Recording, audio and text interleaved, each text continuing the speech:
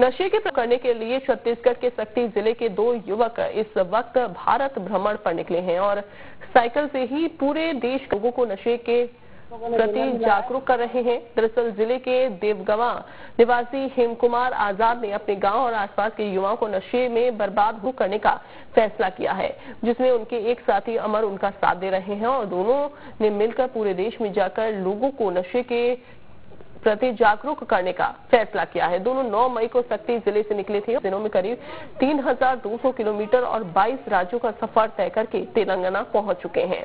इस दौरान फोकस उन युवा पीढ़ी को नशे है जो कम उम्र में ही नशे की लत में फंस।